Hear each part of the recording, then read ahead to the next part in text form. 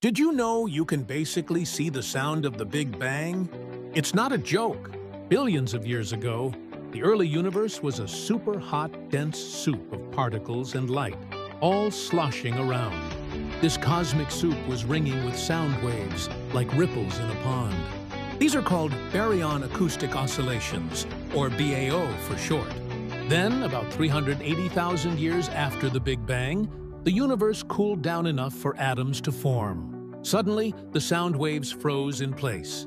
These frozen ripples left a faint, invisible pattern on the cosmos, a kind of cosmic fingerprint. And here's the crazy part. That pattern stretched as the universe expanded. Today, astronomers can measure this pattern by looking at how galaxies are distributed across the sky. It acts like a giant cosmic ruler, helping us measure the expansion of the universe and understand the mystery of dark energy. How cool is that? The universe's first sound is still visible today.